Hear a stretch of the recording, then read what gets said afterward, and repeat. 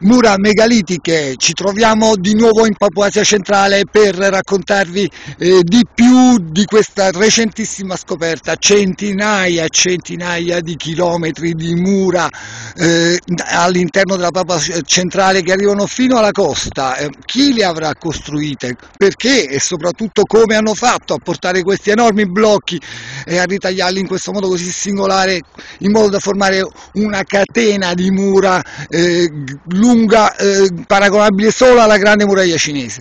Adesso ci troviamo eh, nelle vicinanze di una recentissima scoperta, è, è uscito qualcosa, un, sembra un rottame, un relitto, non si capisce, la datazione al carbonio risale, ci fa, ci fa sapere che siamo ai 10.000 anni avanti Cristo. E non si capisce di cosa sia fatto questo, questa formazione pseudo argillosa. abbiamo chiesto il parere di vari esperti.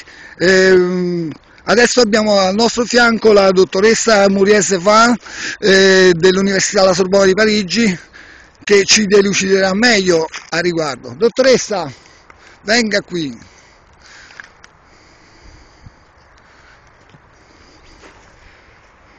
Salve, questa qua è una recente scoperta che sembra messa dal nulla, forse per merito delle grandi burrasche che ci sono state.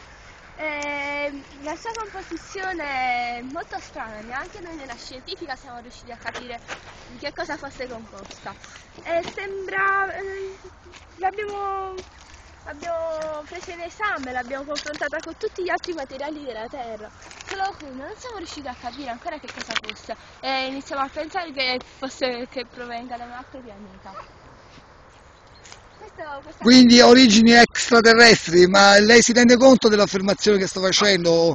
Eh, è ovvio che avrà studiato, avrete studiato bene insomma, la composizione, quindi è sicuro non, eh, è una provenienza non terrestre. È possibile che a quell'epoca ci fosse stato qualche altro materiale che forse oggi si, si sarebbe estinto, però c'è da prendere in considerazione anche l'ipotesi di un altro pianeta.